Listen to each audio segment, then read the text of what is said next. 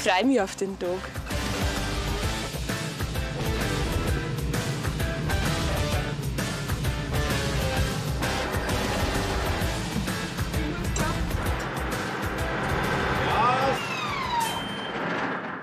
Jetzt siehst du, jetzt haben wir ein Problem.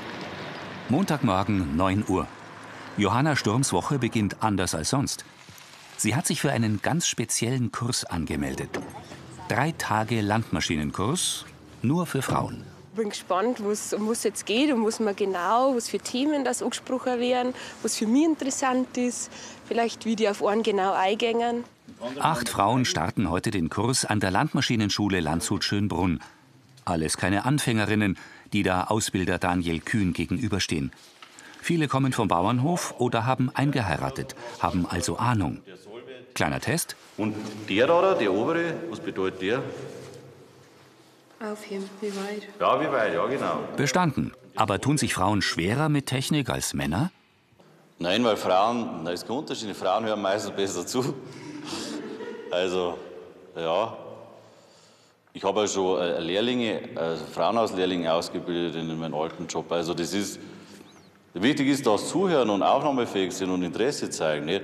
Da ist, kennt man generell keinen Unterschied. Nicht? Gut zuhören, das wird jetzt die Herausforderung. Technische Grundlagen stehen auf dem Stundenplan, Getriebe und Hydraulik. In den nächsten Tagen sollen die Frauen noch alles über Bereifung von Traktoren lernen, außerdem Fluganhängen und Pflege von Landmaschinen.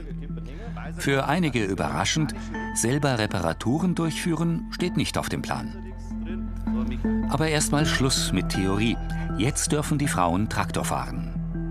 Mit dem Traktor. Zeig jetzt mal, wie mit dem Traktor wird. Johanna, wie, wie fühlst du dich? Ja, ich freue mich. Ist mal ein anderer Bulldog. Schauen wir uns den mal an. Traktor fahren kann Johanna, doch dieses Modell kennt sie nicht. Es wird ein wenig hackelig werden. Ortswechsel. Warum sie diesen Kurs macht, das zeigt uns Johanna auf dem elterlichen Betrieb in Stephansposching in Niederbayern. Den wird die 29-Jährige nächstes Jahr übernehmen. Gerade macht sie eine Ausbildung zur Landwirtin. Braucht es da noch einen Landmaschinenkurs? Meistens ist es hektisch in der Landwirtschaft. Das, das Wetter spielt mit, dann muss man aufs Feld, dann pressiert Und da kann man einfach den Feinschliff noch mehr, noch mehr genauer alles anschauen. 65 Hektar bewirtschaftet die Familie und baut hier unter anderem Kartoffeln, Mais und Hafer an. Johannas Schwestern sind bereits ausgezogen. Dass sie einmal die Landwirtin hier werden will, wusste Johanna schon immer. Schon als kleines Kind ähm, an die Erinnerung daran, mit einem Geräteträger, mit einem Opa, äh, wo man nur lenken hat dürft. Ähm, was das für Alter war, kann ich jetzt nicht sagen, aber schon relativ früh, wo das immer mehr geworden ist einfach.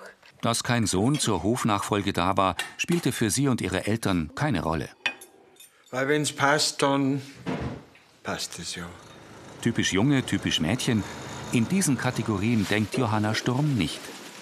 In der Landwirtschaft äh, gehört Frau und Mann, braucht man beides. Äh, nur mit Männern klappt es nicht. Ähm, und mir ist es ganz wichtig, dass auch die Frauen da die Fahrzeuge fahren können und sich da umgehen können damit. Deshalb die Fortbildung in Landshut. Zurück beim Landmaschinenkurs. Das Fahren im fremden Traktor ist kein Problem für Johanna. Nun aber soll sie einen Pflug ankoppeln. Nicht gerade ihre Lieblingsaufgabe. Da kann ich vielleicht ein bisschen drücken. Seht ihr das? Weil es ja da um, um Zentimeter geht, wo ja das zusammenpassen muss. Zentimeter mit einem tonnenschweren fremden Traktor. Höchste Konzentration.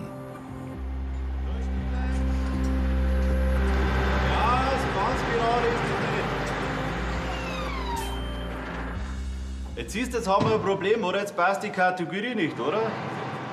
Die Kupplung des Pflugs ist für den großen Traktor zu eng eingestellt.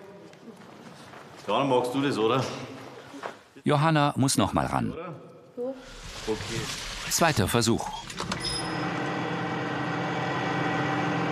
Jetzt passt alles.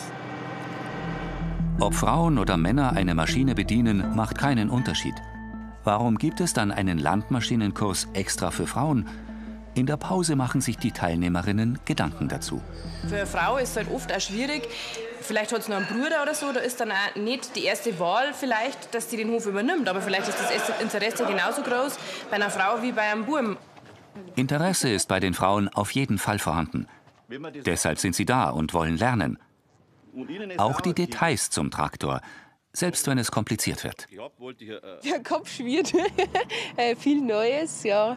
Äh, ein bisschen Wiederholung vom Getriebe, aber ja, viel Neues. Der Kurs hat sich für Johanna auf jeden Fall gelohnt.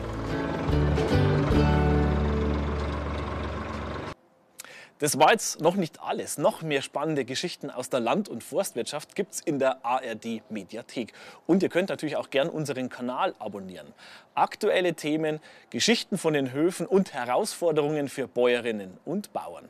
Schaut's gern vorbei.